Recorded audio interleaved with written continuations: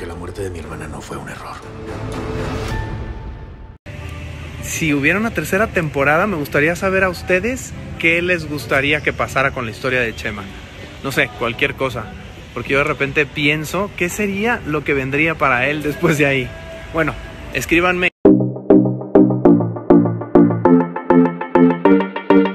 Bienvenido una vez más a tu canal Somos Infoseries. En el día de hoy hablaremos de la serie ¿Quién mató a Sara? Pero antes no olvides suscribirte, déjanos tu comentario aquí debajo y comenzamos.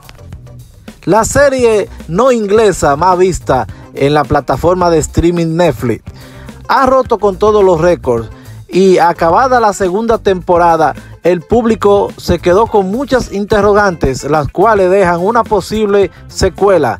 Entiéndase que posiblemente habrá una tercera temporada de ¿Quién mató a Sara? Recordemos que esta serie trata sobre Ale Guzmán, interpretado por Manolo Cardona, quien tras salir de la cárcel anda buscando venganza sobre la muerte de su hermana Sara, quien fue inculpado injustamente, y a su vez descubrir quién fue el responsable de la muerte de su hermana menor. Recordemos que a final de la segunda temporada fue revelado el asesino de la muerte de Sara, aunque solamente se reveló hacia el público. Entiéndase que el papel de Alex, interpretado por Manolo Cardona, no se entera aún de quién fue que mató a su hermanita.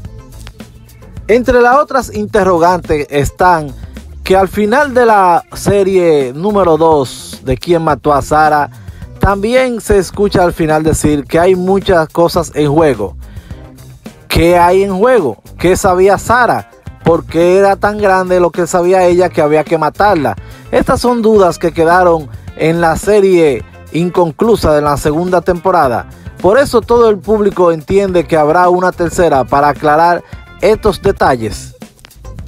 También recordemos que el psicólogo que atendió a Alex al salir de la cárcel a principio de la primera temporada es el que indica que estaba involucrada en un experimento Habría que ver por qué ella se prestó a este experimento y de qué trata, en qué consiste el experimento. Este otro eh, cabo inconcluso que queda en la serie.